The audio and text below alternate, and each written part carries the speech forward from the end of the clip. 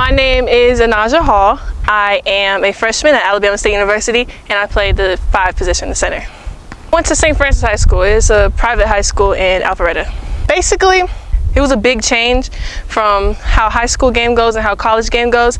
And people talk about it a lot.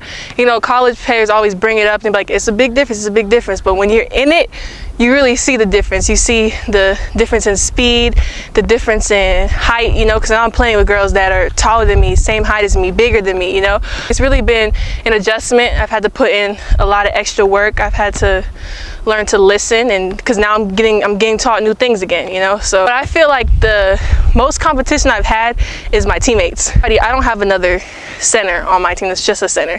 So they all play the forward position. So they're all driving, they're all you know, driving, then going into post moves, still making post moves, boxing out, rebounding. So really my teammates have been my most um, competition, which is good because we scrimmage a lot, I play against them. So when I get out there and I play the other girls, I'm, you know, I'm used to it.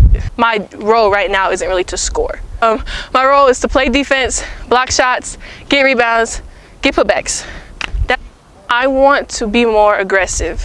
That goes down to playing defense, like um, blocking out, running the floor, pushing through even when I'm tired, just being more aggressive, playing harder. One thing I feel like that you should work on is your your mental state of do you want to play basketball? Because basketball is something that you have to be 100% into or it's not it's not just going to come to you.